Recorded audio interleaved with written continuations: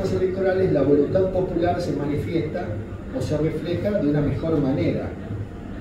Por eso es importante saber cuáles son los sistemas electorales. En primer lugar, tan importantes son que la Constitución Nacional establece que tienen que salir por ley. Y no solamente por ley, sino que esa ley tiene que ser sancionada con un quórum más alto del normal.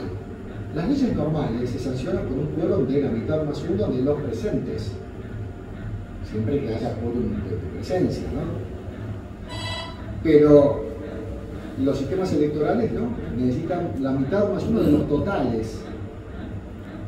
Y además, el presidente de la nación, que lamentablemente en la Argentina tiene la facultad de meterle la mano en el bolsillo al Congreso y robarle atribuciones o hurtárselas en realidad a través de esos llamados decretos de necesidad y urgencia, la Constitución le dice al presidente, ejercer atribuciones en el Congreso si, querés, si considerás que hay circunstancias excepcionales, así lo que quieras, pero en temas penales, en temas impositivos, en materia electoral y en materia de partidos políticos, ni aún habiendo circunstancias excepcionales.